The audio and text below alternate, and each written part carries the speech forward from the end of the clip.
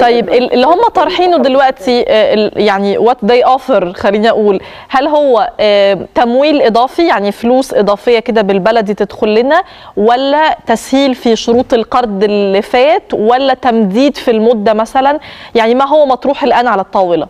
لا هو ال- القرض الأصلي كان 3 مليار دولار وطبعا زي ما كنا بنقول كتير قيمته الأساسية مبلغ بسيط. آه مش مهمه هي كانت مهمه هي مرتبطة طبعا اجمالا ب 17 مليار دولار. لانها كانت مرتبطة ب 14 أخرى جاية من الدول وفقا لنفس ال- مؤسسات تانية. من ولا من دول عربية تحديدا من دول الخليج. لأن بتلاقي في شكل تدفقات غالبا استثمارات. مرتبطة طبعا بإقرار الصين لكن أو يعني بالمضي قدما في برنامج. فما كانش الرقم نفسه هو المهم بالنسبة لنا. إحنا إحنا في شهر واحد بنسدد 4.2 مليار دولار. إحنا مسددين في سنتين 50 مليار دولار وزيادة. وفقا لتصريح وزير الماليه فمش هو ده الرقم المهم. يعني الرقم ال- فاذا كانت ثلاثة بقوا ستة وفقا لكلام تدريبه مش هي دي آه، حفظ الالقاب يعني آه، مش هي دي المهم مش هو ده المهم. هو هي إشارة طبعا أو سيجنال إلى إن آه، الدولة آه، تحتاج إلى مزيد من الدعم الخارجي إلى أن الصندوق يقدر احتياجات مصر في هذا السياق إلى أن مصر تح- تستحق الدعم وده طبعا بيوجه بيوجهه للمانحين وللمقرضين. آه، فده ده ده ده مؤشر جيد. لكن ما يعني لا يعني شيء آه، فيما يتعلق ب آه، يعني حل الأزمة بشكل قاطع طبعا أو حل أزمة ال- السيولة أو حل أزمة سعر الصرف طبعا. لكنها آه، مؤشرات جيدة في سبيل التوصل إلى آه، حل. خلي بال حضرتك برضه هو دايما الصندوق بيقول حتى في, الاجتماعات اللي فاتت في مراكش كانوا بيقولوا مصر في حاجة إلى مزيد من التشديد النقدي هي وتونس. التشديد النقدي يعني إيه رفع سعر الفايدة. بقالنا فترة مثبتين. طبعا إحنا عارفين إن كل 1% زيادة في سعر الفايدة تساوي تكلفة على وزير المالية ب 70 مليار جنيه.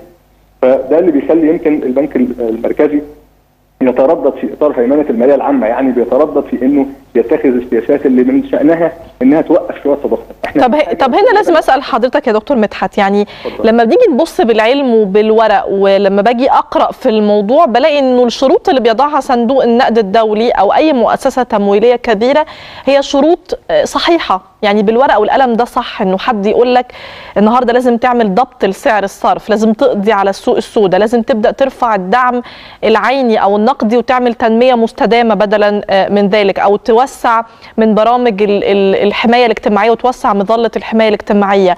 إنه حد يقول لك لازم الدولة تخرج من القطاعات الأساسية وتدي فرصة للقطاع الخاص وتبدأ تشجع الاستثمار. كل ده كلام يعني لا خلاف عليه وكلام جميل.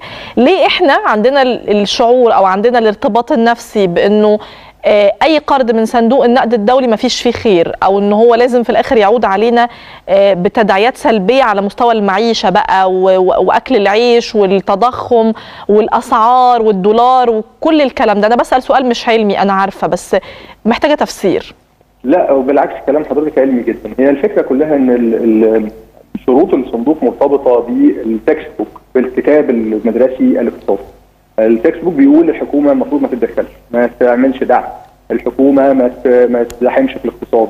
الحكومة آه، أو الدولة بشكل عام ما ما تخشش في الاستثمارات اللي ممكن يعملها القطاع الخاص بشكل أكبر. دي الشروط الأساسية اللي هو بيقول أنا مش مش عايز أديك فلوس غير لما تكون متأكد إن اقتصادك شغال فيها. والا وإلا الفلوس دي مش هتعرف تردها لي تاني. مش هتعرف تستخدمها الاستخدام الأمثل. مش هيتم تخصيصها التخصيص الأمثل داخل ولن تدور بالشكل الملائم داخل عجلة الاقتصاد. ده دي تصورات التكست بوك ودي الحقيقة.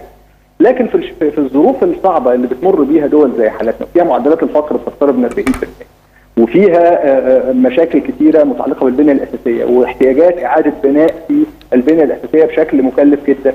عادة بيبقى مطلوب دور أكبر من الدولة. عادة بيبقى مطلوب دور أكبر من الحكومة. آه، ده مش دايما الصندوق بيعرف يقدره بشكل ملائم. ومش دايما بي- بيشوفه بشكل صح. والحقيقة هناك تجارب تاريخية كثيرة جدا. أخفق فيها الصندوق اخفاقا بينا في دول كثيرة آه، لم يكن موفقا فيها. يعني كانت رؤية الصندوق غلط أو مش متناسبة مع خصوصية الدولة اللي هو قاعد يقول لها اعملي كذا والصح تعملي كذا والكتاب بيقول كذا. أخفق صندوق النقد الدولي في بعض الدول. كثيرا كثيرا. وخلي بال حضرتك هو برضه دلوقتي بقى أذكى من زمان. هو ما بقاش يفرض. هو بيقول لك إيه؟ "إيه، حط انت البرنامج وأنا هعتمد إحنا برضه كان المفروض وإحنا بنحط البرنامج نحطه فيه ضوء اعتبارات احتياجات المواطن نحط فيه دايما مخرج للأزمات حينما تشتد نحط فيه تصور طب ماذا لو قامت حروب وحصل اللي حصل وبقى معدل التضخم مخيف ومرعب؟ كان لازم نتفاوض على إيه؟ إيه اللي كان ناقصنا في التفاوض؟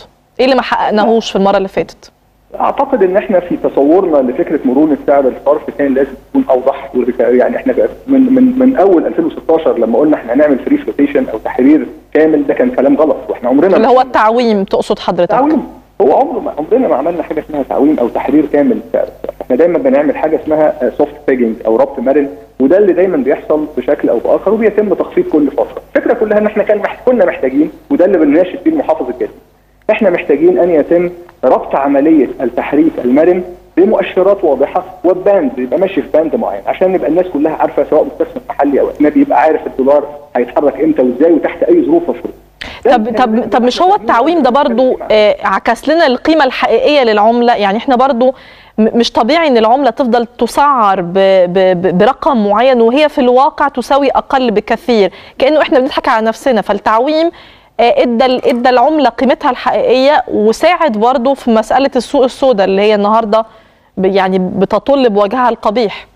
ما هو أنا مش مختلف على أنا مختلف على تسميته بأنه تعويم. هو ما تم ليس تعويما. هو حضرتك إحنا دلوقتي 2016 11 شهر نوفمبر 2016 تم التعويم فعلا؟ يعني حضرتك ساعتها بعديها على طول بقيت تشتري الدولار. بقى الدولار يتحرك فعلا بشكل حر؟ ولا طلع شوية وبعدين نزل شوية وبعدين فضل ثابت عند 15 7 من 10 لو رسمت curve هتلاقيه ثابت. هل منطقي إن ده شكل الدولار؟ ما هو كده ما كانش تعويم فلماذا أقول ولماذا أقول وأدعي إن أنا عامل تعويم؟ بينما أنا مراعي على فكرة ده في اقتصاديين كبار يعني منهم ميلتون فريدمان نفسه صاحب المؤسس لفكر ال neoliberalism والمؤسس للفكر حريه الاقتصاد وزعيم النقوديين وزعيم الفكر الحر الاقتصادي الاقتصاد الحر بشكل كبير يعني فقال لك إيه؟ قال لك لا أنا عاد مراجعة أفكاره في فترة من الفترات وقال لك لا في بلاد ما ينفعش فيها وضرب مثال بتشيري ما ينفعش فيها التعويم الحر ابدا. فإحنا فعلا ما عندنا إحنا لا عندنا فعلا تعويم حر ولا عملنا تعويم حر. طب هل إحنا محتاجين تعويم دلوقتي سواء كان بالشكل الحر الكامل أو بالشكل اللي هو بين البنين اللي إحنا عملناه؟ هو ما حدش طلب من حضرتك تعويم. حتى هم كلامهم واضح جدا. يقول لك نظاما أكثر مرونة. يعني إيه أكثر مرونة؟ يعني ما تقولش النهارده السعر 30 وتفضل ربطولي عن 30 بينما هو في الحقيقة في السوق السوداء مش 50 غالي. ومش عايزين نقول الرقم لكن في كل الأحوال مش موجود. هو المهم مش 50 ولا 100 المهم إن هو مش موجود. مش حقيقي. أنا مش حقيقي مش موجود. يعني أنت هو ليه بيزيد؟ بيزيد عشان الناس مش لاقياه. فبيراهنوا عليه بيعمل عليه اوكشن بيعمل عليه مزاد لحد ما بيلاقيه دي المصيبة دي المشكلة. لكن أول ما هيبقى متوافر طبعا هيرجع للسعر المنطقي. إحنا عايزين البنك المركزي يمارس نوع من أنواع الضبط في هذا بس هو توفره ده في حد ذاته مشكلة ثانية يعني توفير النقد طبعا. الأجنبي ده باب باب كبير طبعا. قوي يعني. طبعا وما أقدرش ألقي كاهن البنك المركزي البنك المركزي في الآخر هو بيدير حصيلة موجودة وبيحاول يفكر في إطارها وبيحط معادلات لكن ال ال الأصل ان الاقتصاد نفسه هو اللي يتحرك عشان يجيب الفلوس دي. والأصل ان تدفقات رؤوس الأموال تجي لنا بشكل استثمار بقى وباشكاله المختلفه بالظبط كده بشكرك. شكرا جزيلا دكتور مدحت نافع الخبير الاقتصادي. وقفة الحقيقة مهمة مع موضوع صندوق النقد الدولي لأنه القصة دي آه طبعا هو لسه لحد الآن ما فيش أي شيء ملموس أو رسمي بس الواحد اتعود لما يلاقي تصريحات جاية من المؤسسات التمويلية دي بالشكل دوت اتعودنا نتحسس آه ونقف ونركز لأنه اولا ما فيش حاجة ببلاش ثانيا ما فيش حاجة لله في لله ثالثا آه الدول دي دائمة الضغط عليك. يعني يلاقوا أي وقت أو المؤسسات الكبيرة دي اللي هي بتتبع زي ما بنقول لدول معينة أو الجزء الأكبر فيها آه ولاء لدول معينة أول ما يلاقي إنك أنت عندك وضع صعب تحديات معينة أمنية سياسية اقتصادية يبدأ يظهر عليك. إيه الشروط؟ إيه أفكارهم؟ عايزين إيه بالظبط؟ ده اللي إحنا بنحاول نستكشفه بالنظر بقى للوضع الاقتصادي برضو اللي هو في العالم كله صعب وفي مصر طبعا في تحدي كبير.